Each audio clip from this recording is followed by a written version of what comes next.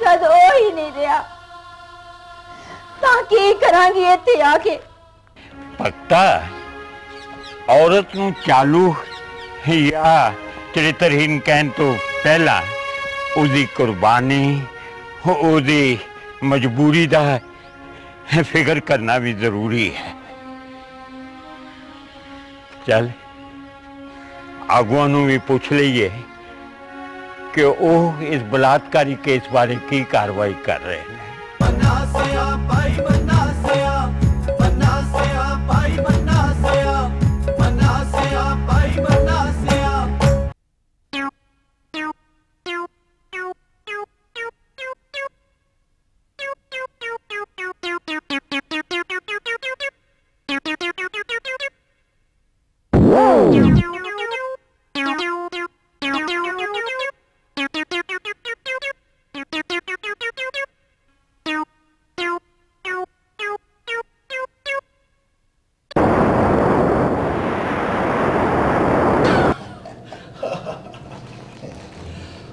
ਸੁਣਾਓ ਮਾਲਕੋ ਕਿਵੇਂ ਲੰਘਦੀ ਹੈ? ਉਹ ਤੁਹਾਨੂੰ ਪਤਾ ਹੀ ਹੈ ਜੀ ਰਾਤੀ ਸੇਠ ਦੇ ਆਲੇ ਘਰੇ ਪਾਰਟੀ ਸੀ।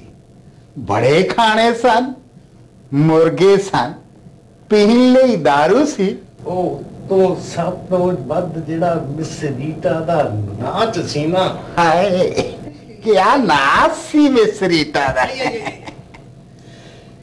ਸਾਰੀ ਰਾਤ ਪੈੜੀ ਨੇ ਜਗਾਇਆ ਹੈ। ਹੁਣ ਵੀ ਨੀਂਦਰਾਂ ਪਈਆਂ ਆਂਦੀਆਂ ਹਰ ਪਾਸੇ ਰਿਸ਼ਵਤ ਖੋਰੀ, ਚੋਰੀ ਨਾਲੇ ਸੀਨਾ ਜ਼ੋਰੀ, ਚੰਡੀਗੜ੍ਹ ਕੋਠੀ ਪਾਲੀ ਕਰ ਮੂਰੇ ਕਾਰ ਦਲਾਲੀ, ਚੰਡੀਗੜ੍ਹ ਕੋਠੀ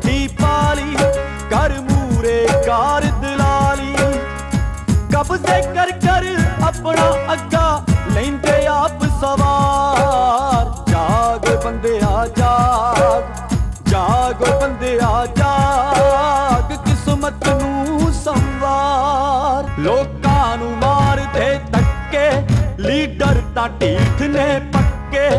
ਇੱਕ ਵਾਰੀ ਵੋਟਾਂ ਲੈ ਕੇ 5 ਸਾਲ ਕਰ ਗਏ ਪੱਕੇ।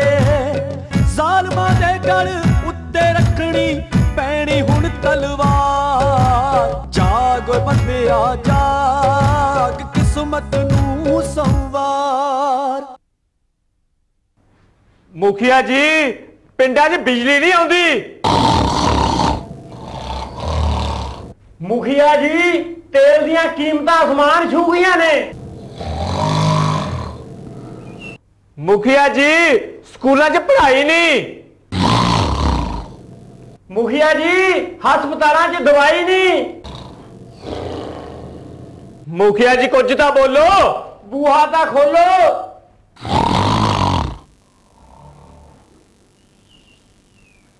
ਓਏ ਜੋ ਬੋਲਣਾ ਸੀ ਇਹ ਬੋਲ ਚੁੱਕੇ, ਜੋ ਕਹਿਣਾ ਸੀ ਕਹਿ ਚੁੱਕੇ।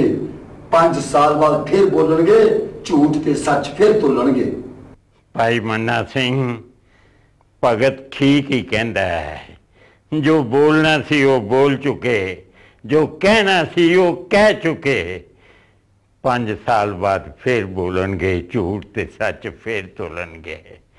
ਇਹ ਜਿਹੜੇ ਅੰਦਰ ਲੋਕਾਂ ਦੇ ਚੁਣੇ ਹੋਏ ਬੈਠੇ ਨੇ ਇਹ ਪੁੱਕੀਆਂ ਖਵਾ ਕੇ ਸ਼ਰਾਬਾਂ ਪਿਆ ਕੇ, ਪੈਸੇ ਵੰਡ ਕੇ ਕੁਰਸੀਆਂ ਤੇ ਬੈਠ ਕੇ ਨੇ।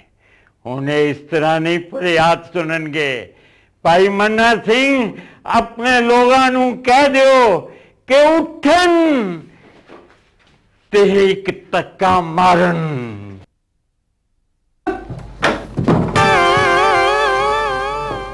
ਬਈ ਕੀ ਹੋਇਆ ਕੀ ਗੱਲ ਹੋ ਗਈ ਬੈਠੋ ਬੈਠੋ ਬੈਠੋ ਬੈਠੋ ਬੈਠੋ ਬੈਠੋ ਬਾਬਾ ਜੀ ਇਹਨਾਂ ਨੂੰ ਤਾਂ ਮੈਂ ਚੰਗੀ ਤਰ੍ਹਾਂ ਜਾਣਦਾ ਅੱਛਾ ਭਗਤਾ ਹਾਂ ਆ ਜਿਹੜਾ ਪੱਗ ਵਾਲਾ ਢਿੱਡਲ ਜਿਹਾ ਬੈਠਾ ਨਾ ਇਹਦੀ ਪੱਗ ਚੋਂ ਪੁੱਕੀ ਫੜੀ ਗਈ ਸੀ ਅਖਬਾਰਾਂ 'ਚ ਬੜੀਆਂ ਖਬਰਾਂ ਛਪੀਆਂ ਸੀ ਇਹ ਤੇਰਾ ਮਤਲਬ ਇਹ ਸਮਗਲਰ ਹੈ ਤੇ ਹਾਂ ਉਹ ਪਰੇ ਉਹ ਠੀਕਣਾ ਜਿਹਾ ਬੜੀਆਂ ਮੁੱਛਾਂ ਵਾਲਾ ਇਹ ਬਾਜ਼ਾਰ 'ਚੋਂ ਸਾਈਕਲ ਚੱਕਦਾ ਫੜਿਆ ਗਿਆ ਸੀ। ਇਹ ਸਾਈਕਲ ਚੋਰ ਹੈ? ਹਾਂ ਇਹ ਤਾਂ ਔਕਾਤ ਹੈ ਇਹਨਾਂ ਦੀ। ਇਹ ਤੇ ਹੈ ਹੀ ਚੋਰਾਂ ਤੇ ਬਲੈਕੀਆਂ ਦਾ ਟੋਲਾ। ਮੁਖੀਆ ਜੀ ਤੁਸੀਂ ਚੋਣਾਂ ਵੇਲੇ ਵਾਅਦਾ ਕੀਤਾ ਸੀ ਕਿ ਅਸੀਂ ਬੇਰੁਜ਼ਗਾਰੀ ਦੂਰ ਕਰਾਂਗੇ। ਵਾਦਾ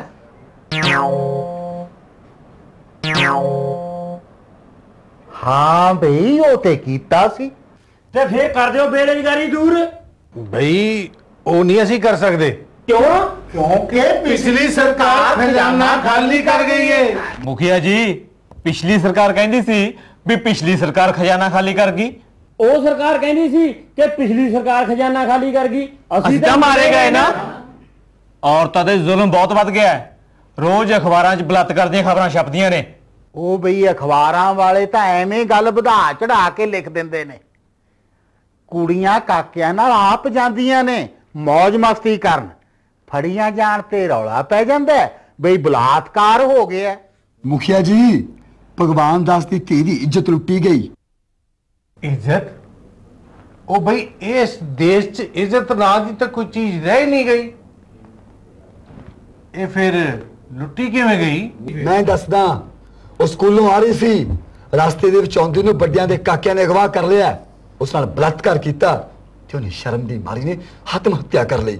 ਬਈ, ਇਹਦੇ ਬਾਰੇ ਮੈਂ ਸਵੇਰੇ ਹੀ ਅਖਬਾਰ 'ਚ ਬਿਆਨ ਦੇ ਦਿਆਂਗਾ। ਪਰ ਆਤਮ ਹੱਤਿਆ ਕਰਨੀ ਕਾਨੂੰਨ ਅਪਰਾਧ ਏ। ਤੇ ਜਿਹੜੇ ਆਤਮ ਹੱਤਿਆ ਦੇ ਜ਼ਿੰਮੇਵਾਰ ਹੁੰਦੇ ਨੇ, ਉਹਨਾਂ ਬਾਰੇ ਕੋਈ ਕਾਨੂੰਨ ਹੈ?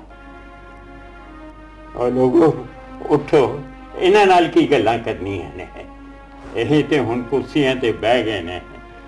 ਸਵਾਏ ਲਾਰਿਆਂ ਤੋਂ ਹੁਣ ਇਹਨਾਂ ਨੂੰ ਕੁਝ ਆਣਾ ਹੀ ਨਹੀਂ ਹੈ। ਬਾਬਾ ਜੀ ਠੀਕ ਕਹਿੰਦੇ ਨੇ ਇਹ ਸਾਨੂੰ ਲਾਰੇ ਲਾਉਂਦੇ ਨੇ ਮੂਰਖ ਬਣਾਉਂਦੇ ਨੇ ਫੋਕੇ ਐਲਾਨ ਕਰਦੇ ਨੇ ਤੇ ਸਾਨੂੰ ਝੂਠੇ ਸੁਪਨੇ ਦਿਖਾਉਂਦੇ ਨੇ। ਨੀ ਧੰਨਾ! ਧੰਨਾ ਨੀ ਨੀ ਮੇਰੀਆਂ ਧੰਨਾ! ਉਹ ਕਿੱਥੇ ਮਰ ਗਈ ਐ ਤੂੰ? ਕੀ ਹੋ ਗਿਆ ਤੈਨੂੰ? ਕਿਉਂ ਸਾਰਾ ਘਰ ਸਿਰ ਤੇ ਚੱਕਿਆ? ਨਾ ਤੈਨੂੰ ਤਾਂ ਮੈਂ ਆਟਾ ਲੈਣ ਘੱਲਿਆ ਸੀ। ਲਿਆਇਆ ਕਿ ਨਹੀਂ? ਉਹ ਆਟਾ ਨਹੀਂ ਮਿਲਿਆ। ਹੱਟੀ ਵਾਲਾ ਲਾਲਾ ਆਖਦਾ ਅੱਗੇ ਉਧਾਰ ਬੜਾ ਹੋ ਗਿਆ। ਹੋਰ ਨਹੀਂ ਮੈਂ ਦੇ ਸਕਦਾ। ਪਰ ਹਾਂ ਇੱਕ ਖਬਰ ਜ਼ਰੂਰ ਲੈ ਕੇ ਆਇਆ ਵਾਂ। ਖਬਰ? ਆਹੋ ਲੈ ਹੁਣ ਵੇਖੀ ਤੈਨੂੰ ਹੁੰਦਾ ਕੀ ਹੈ ਹੁਣ ਕੀ ਹੋਊ?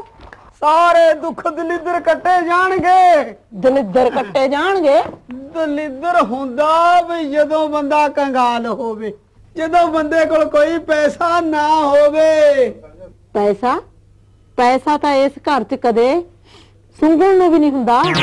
ਉਹ ਪਰ ਹੁਣ ਵੇਖੀ ਮੇਰੀਏ ਧੰਨੋ ਪੈਸਾ ਹੀ ਪੈਸਾ ਆ ਜਾਣਾ ਏ।